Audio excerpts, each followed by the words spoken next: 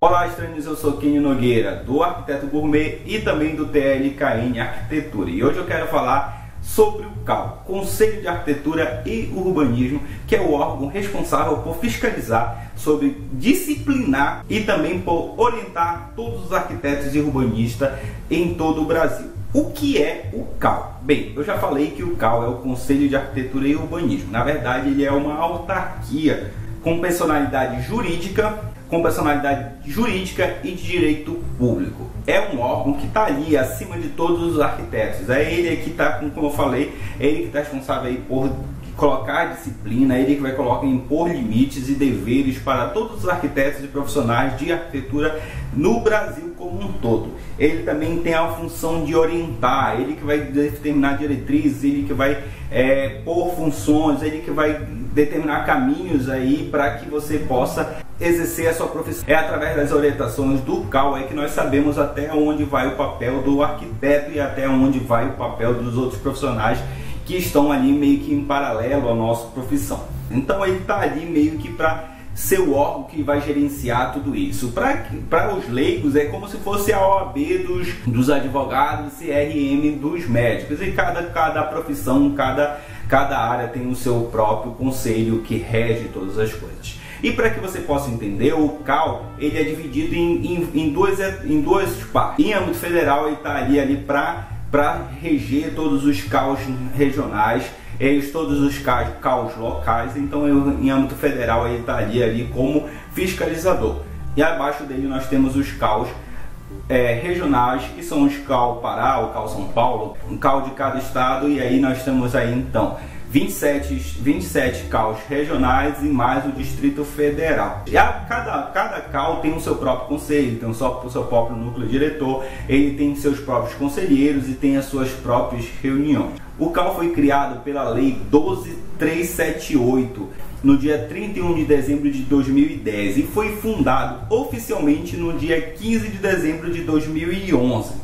Então, na verdade, é bem novo essa formação desse conselho de arquitetura, mas na verdade já é uma briga que já vem acontecendo desde os anos 50, onde os arquitetos queriam que o, os profissionais tivessem mais liberdade, que ele não fosse vinculado a umas outras classes, a umas outras categorias de profissionais, como antigamente nós éramos ligados ao CREA que é o Conselho de, Engenharia. Então, na verdade, todas as engenharias estão reunidas ali e o, a arquitetura estava ali por dentro. Então, durante muito tempo houve essa briga para que nós podemos, possamos ter o nosso próprio conselho independente. Então, desde 2011, nós estamos ligados, nós fomos desligados diretamente do CREA e ligados diretamente ao CAL. Automaticamente isso aconteceu. E qual é a função do CAL? O CAL, em âmbito federal, como eu falei, ele que vai determinar diretrizes a serem tomadas pelos caos locais, pelos caos regionais. Ele que vai aprovar as resoluções que vão definir todo, toda a atuação dos arquitetos em todo, em todo o Brasil. É, ele que vai homologar os regimentos internos, ele que vai definir as atividades dos CAUs regionais e, acima de tudo, ele que vai julgar em última instância os processos que acontecem é, dentro do Conselho. Então, se, então o CAU federal ele vai estar ali somente para articular todas as atividades, todos os conselhos é, acontecem as plenárias, tudo, tudo que for decidido em plenária, com todos os caos, ele vai ser decidido e acatado pela, pelo CAL federal. Em âmbito regional, nós temos aí mais outras atividades do CAL. Além de fiscalizar todas as obras, que é importantíssima essa atuação do CAL junto aos profissionais, porque é importante com que nós possamos, assim que nós fechamos um projeto, assim que nós fazemos o um projeto, nós possamos é, fazer as RRTs, então, é, para que o CAL possa ter ciência das nossas atividades, então o CAL vai lá e vai fiscalizar os nossos projetos, é, para que não haja que outros é, profissionais não capacitados venham é, executar a obra, para que não venha ter obra sem, sem assinatura de um projeto de um profissional competente. Então o, o CAL regional vai estar aí responsável por fazer essa fiscalização em obra e fiscalização dos escritórios também.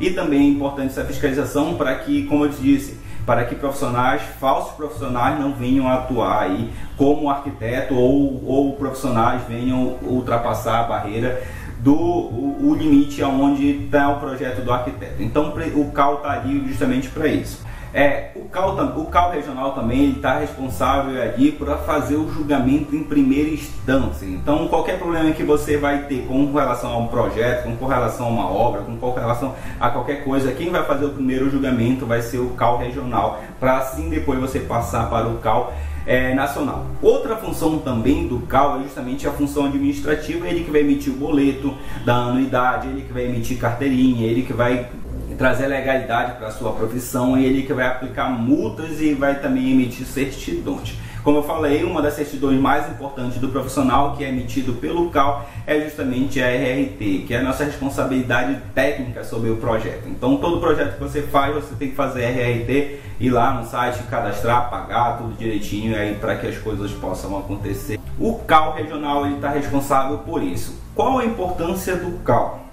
Mas aí você pode dizer, ah, Kenny, por que então tem o CAL? Por que, por que existe o CAL? O CAL existe justamente para ele, ele determinar diretrizes sobre o que nós fazemos, sobre nossos trabalhos, sobre nossas atividades, para que, como eu falei, profissionais de, outra, de outro ramo não possam vir atuar. O que aconteceu há uns anos atrás foi um acidente que aconteceu no Rio de Janeiro, não lembro mais, não lembro mais ou menos a data, mas foi um acidente que aconteceu há mais ou menos uns 5, 6 anos aí, estavam fazendo uma reforma num determinado prédio e simplesmente derrubaram todas as paredes, é, derrubaram o pilar, derrubaram sem preocupação nenhuma com o projeto, sem preocupação nenhuma com o projeto estrutural e o que aconteceu? O prédio caiu e matou muita gente. Para que não possa acontecer isso, é importante a atuação do CAL, é importante a atuação do arquiteto responsável pelo seu projeto, assinar lá, declarar que fez o seu projeto, declarar que qualquer problemas e eventualidades que possa acontecer, ele possa estar respaldado um, junto ao CAL que aí ele pode ter. Existe o caso de, de, de,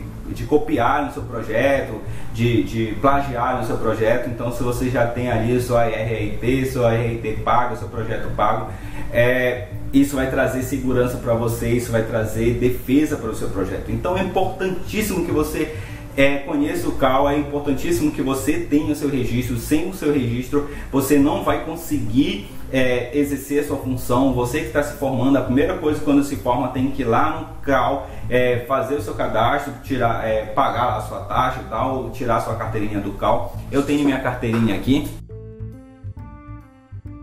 Eu tenho minha carteira aqui, deixa eu ver, deixa eu esconder aqui meu, meu eu tenho minha carteira do CAL aqui, feio pra caramba, não vou, não vou deixar ver, tá? É, a carteirinha aqui do CAL, não dá pra ver os dados, tá?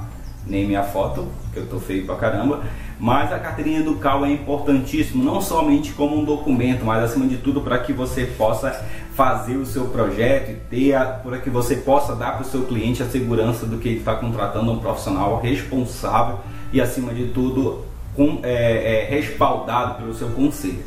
É, geralmente, é, todo final de ano nós recebemos nosso presentinho, que é a nossa anuidade do CAL, e aí a gente pode parcelar, pode pagar direitinho. Todos os serviços do CAL eles são acessados online, você pode acessar o seu, o seu CAL, entrar lá no site do CAL e acessar direitinho para que você possa conhecer. Eu vou entrar agora é, em uma outra câmera, eu vou entrar agora mostrar para vocês mais ou menos como é que funciona no site do CAL para que vocês possam ter uma ideia geral. Bem, nós estamos aqui no site do Cal, tá? Em que nós vamos, vocês podem ver aqui no site do Cal BR, você pode aqui escolher seu estado. Aqui do lado você pode escolher seu estado, qual estado que você quer trabalhar. Tem aqui a questão da instituição, a apresentação da instituição, quem é quem, é, os conselhos federais, conselho diretor e tal, então tudo isso eles estão, as atas das reuniões, das plenárias, do que aconteceu, tá? Então você tem tudo isso disponível aqui, a agenda, os cursos, as agendas que tem, a legislação, um dos principais legislações que você precisa para saber aí a exercer sua profissão, orientação jurídica, transparência, portal de transparência também é muito importante para a questão de denúncias e tudo mais. Notícias, essas notícias são importantíssimas também, que vocês acompanham, você cadastra lá seu e-mail, que você recebe essas notícias o tempo todo dúvidas e ouvidoria caso você queira conversar comigo. Mas o que mais nos interessa aqui é serviços online, tá? Para ver se a internet ajuda. É, tá aqui a parte que, que a gente preenche, tá? É, tem, tem algumas informações básicas aqui, mas a gente entra aí no nosso site, no nosso, no nosso perfil. Eu vou entrar aqui no meu, tá? Então eu vou cortar aqui minha, meu CPF. Bem, tá aqui nossos dados, nossos principais dados. Então tá aqui o número do meu CAL, tá aqui todas as informações. Aqui tem as principais informações que a gente precisa saber, tá? As anuidades, anuidades devidas, se está devendo anuidade, tá, tá tudo ok. As RRTs elaboradas, vou colocar aqui. Tem uma RRT do ano passado aqui. Então, tudo isso você precisa. Então, todos os seus dados você precisa aqui dentro do CICAL, que é o Sistema de Informação de Comunicação do CAL. E aí você tem aqui, você pode cadastrar, depois eu quer preencher uma RRT, por exemplo, tá? Não vou fazer aqui, mas selecionar aqui o inicial, tá? Se for simples, é, se for simples no caso, simples é se, se, é só você que vai fazer o projeto, tá? É, se é derivado, se de repente você está fazendo uma RT que é depois de uma, de, é, você é coautoria com algum outro arquiteto, você entra aqui no derivado. Mas aí você vai preenchendo todos os dados do seu contratante e tudo mais. O site do Cal é bem fácil de se fazer, bem fácil de entender, então tem aqui questão de agendamento, se a gente vai agendar algum agendar atendimento e tudo mais. Mas todas as informações estão bem disponíveis aqui no site do Cal. Então vale a pena vocês saberem todas as informações, os benefícios do CAL, tudo, tudo todas as informações estão disponíveis aqui para que vocês possam participar. Tem a participação de eventos, Congresso Pan-Americano de Arquitetura, tem várias coisas bem legais aqui que vocês podem estar acompanhando tudo direitinho, que eu acho que vale bem, a pena. É, esse aqui é mais um ateliê criativo que nós estamos falando sobre algo muito técnico, nós estamos falando sobre o CAL. É, como eu falei, é muito importante que você conheça, que você acesse o site do CAL, que você é, leia as notícias que são, que são enviadas. Existem muitos assuntos polêmicos ainda a serem tratados do CAL, muitas coisas sendo discutidas sobre RT, sobre reserva técnica e tudo mais. Eu não vou entrar nesse mérito da questão. Nós não vamos, nós prometo para vocês que nós vamos fazer um vídeo conversando sobre isso, quem sabe uma, uma mesa redonda falando sobre esse assunto. Então, espero que vocês tenham gostado desse vídeo muito técnico, mas muito importante para vocês. Não se esqueçam de, compartilhar, de curtir e compartilhar os nossos vídeos aí. Deixa seu like, se inscreve no canal, convide seus amigos para conhecer. Acessem aqui se vocês querem participar do, do grupo do WhatsApp do Arquiteto Gourmet para que você possa é, mandar as informações, mandar dúvidas, perguntar e tudo mais. É só você acessar o link que está aqui que nós vamos estar conversando diretamente. Mande suas dúvidas, mande suas perguntas aí, que eu estou com saudade de fazer o Arquiteto Gourmet Responde. Então, vamos participar aí. Não se esqueça de curtir os outros vídeos do canal, de participar dos outros vídeos do canal. Então é isso, minha gente. Um grande abraço, até a próxima semana. Tchau!